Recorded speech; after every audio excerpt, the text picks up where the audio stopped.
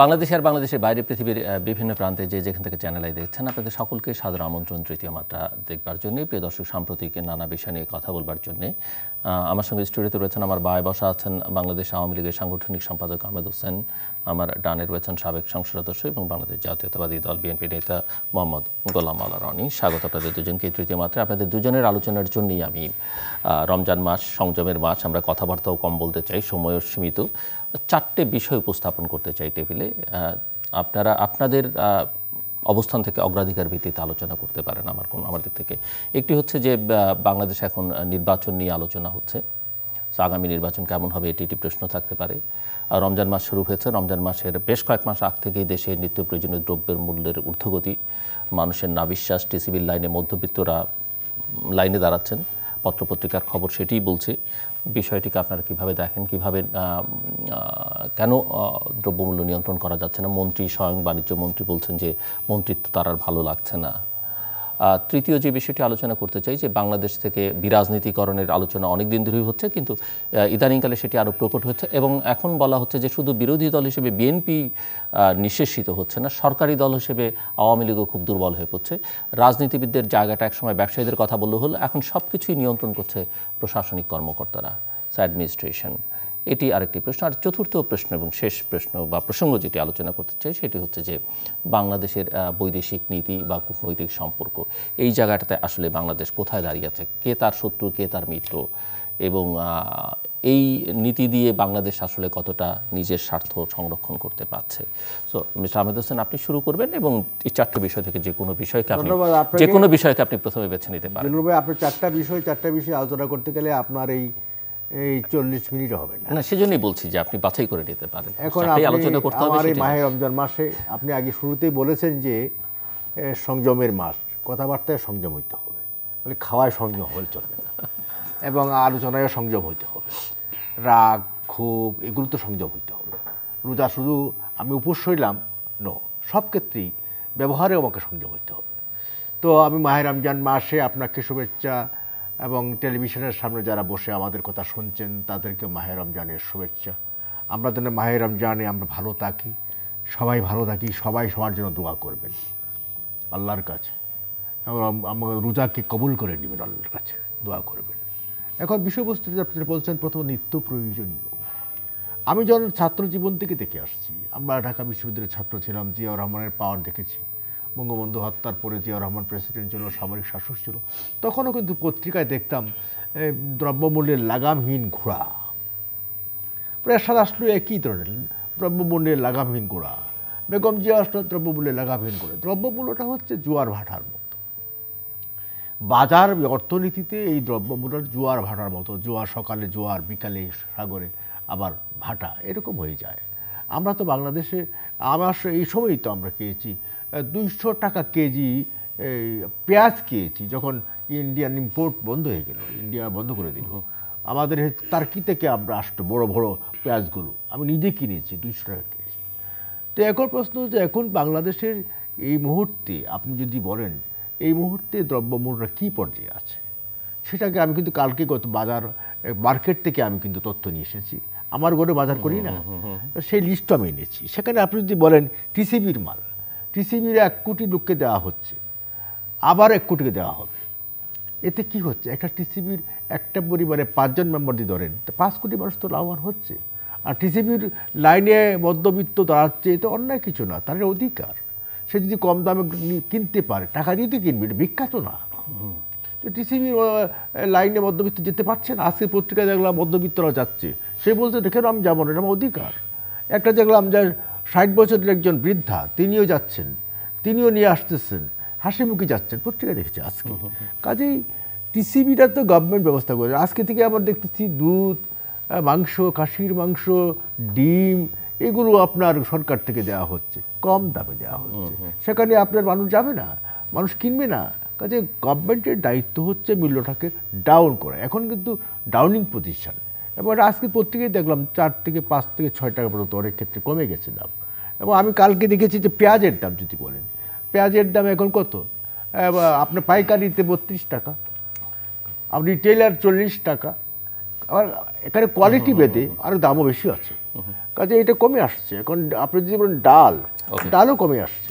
কাজে এখন এগুলো আমরা একটা হলো সবকিছু নিয়ন্ত্রণের মধ্যে আছে আগের চেয়ে বেটার নিম্নমুখী, নিম্নমুখী। মানুষ তার অধিকারের চর্চা করতে পারছে নিম্নমুখী গভর্নমেন্ট সেখানে বসে নাই সরকার সেখানে বসে নাই। That's great. Sounds good mister Golam Rani ধন্যবাদ। আমার মনে হয় আপনার প্রায়োরিটি থাকতে পারে চারটা প্রসঙ্গের মধ্যে বাট যেহেতু mister Ahmed Hossain commodity price নিয়ে কথা বলেছেন প্রাইস বিষয় নিয়ে। বলব। বাট এটি দিয়ে আমার আমার মনে হয় শুরু করা ভালো যেহেতু উনি দ্রব্যমূল্যের বিষয়টি নিয়ে বলেছেন। চারটে বিষয় নিয়ে বলব। প্রথম কারণটা হলো যে আমরা যেটা দ্রব্যমূল্য নিয়ে চিৎকার চেঁচামেচি করছি তারা মূলত নিজেদের অজ্ঞতার কারণে দুর্বলতার কারণে আমরা এই কাজগুলো করছি। কিন্তু আপনি যদি সরকারের মুখের দিকে তাকান হ্যাঁ, বিশেষ করে আহমদ ভাইয়ের মুখের দিকে তাকান তাহলে দেখবেন যে পৃথিবীতে দ্রব্যমূল্য নামক যে কোনো সমস্যা এটি অন্তত পক্ষে আহমেদ ভাই বা এদের মতো যারা লোকজন বাংলাদেশে রয়েছে, যাদের নামের সঙ্গে সরেয়া আছে, গায়ে মুজিব কোড আছে, এরপরে নৌকা আছে এই সমস্ত লোকজনের ডিকশনারিতে দ্রব্যমূল্য বলে কোনো জিনিস এখন, যে নাই এবং দ্রব্যমূল্যের বৃদ্ধি বলেও কোনো জিনিস নাই।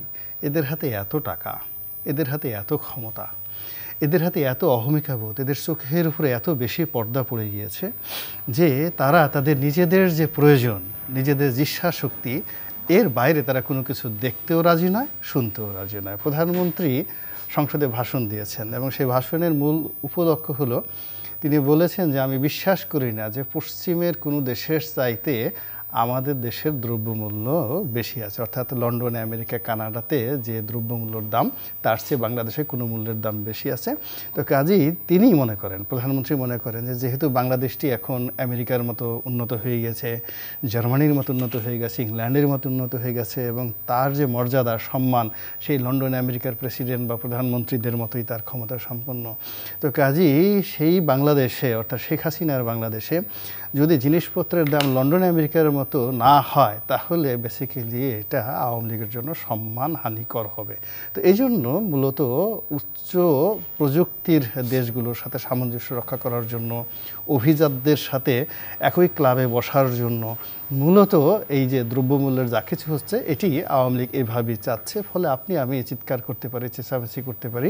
এটা নিয়ে আসলে আওয়ামী লীগের মাথা ব্যথা আছে বলে আমার কাছে ব্যক্তিগতভাবে মনে হচ্ছে না। এবং আমাদের আহমদ ভাই অত্যন্ত প্রবীণ রাজনীতিবিদ, তিনি যে জিনিসটা বলছিলেন যে টিসিবির যে ট্রাক, পণ্যবাহী ট্রাক, সেখানে আমরা কান্না দেখতে পাই, চিৎকার, চেঁচামেচি দেখতে পাই, কিন্তু উনি সেখানে হাসি দেখতে পান এবং সেখানে বৃদ্ধ লোক হাসি মুখে সেখান থেকে পণ্য সামগ্রী নিয়ে আসছে। এ দৃশ্য তার চোখে পড়ছে। এবং তিনি আরও সুসংবাদ জানালেন যে এখানে কেবলমাত্র পেঁয়াজ দেওয়া হবে না অনাগত অনাগত দিনে দুগ্ধ দেওয়া হবে, দুধ দেওয়া হবে, মাংস দেওয়া হবে, খাসির মাংস দেওয়া হবে। এবং আমি তো মনে করি যে এই খাসির মাংস, গরুর মাংস দিতে দিতে কবে উটের মাংস চলে আসে তার কোনো নিশ্চয়তা নেই।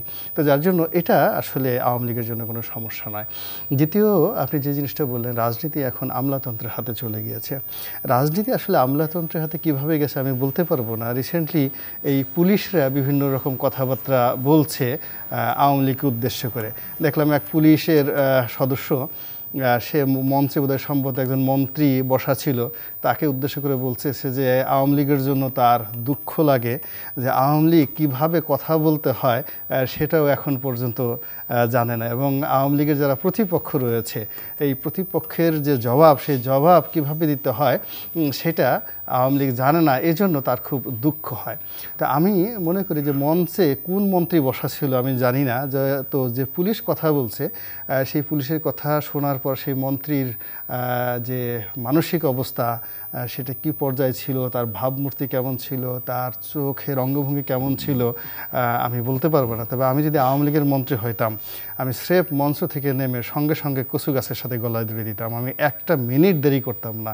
যে যে রাজনীতি সারা জীবন একটা মন্ত্রী হয়, একটা এমপি হয়, একটা সংসদ সদস্য হয়, তিরিশ বছর, চল্লিশ বছর সে শ্রম করে, সে কথাবার্তা শিখে লক্ষ মানুষের মন জয় করে তারপরে শেষে সে ভোটের মাধ্যমে সে একজন সংসদ সদস্য নির্বাচিত হয়।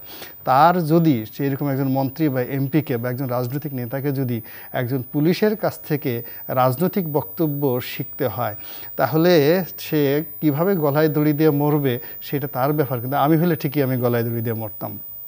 এই হলো বাংলাদেশের অবস্থা হয়ে গেছে। এর কারণ হলো জনগণকে রাজি করানোর জন্য, খুশি করানোর জন্য, তারপরে তাদেরকে ভোট ম্যানেজ করার জন্য যে রাজনীতির রসায়ন রয়েছে, যে ডিকশনারি রয়েছে, সেইগুলো বাদ দিয়ে এখন গভীর রাত্রে সিল পিটানো, বাক্স ভরানো, এর হাতে পায়ে ধরা, ওর হাতে পায়ে ধরা, একে টাকা দেওয়া, ওকে টাকা দেওয়া, এই যে যে জিনিসগুলো এখন চালু হয়েছে নর্মস চালু হয়েছে, এটা এই সৌরজগতের অন্য কোনো গ্রহে ইতিপূর্বে কখনো ছিল না, অনাগত দিনেও হবে না। ফলে কি হচ্ছে?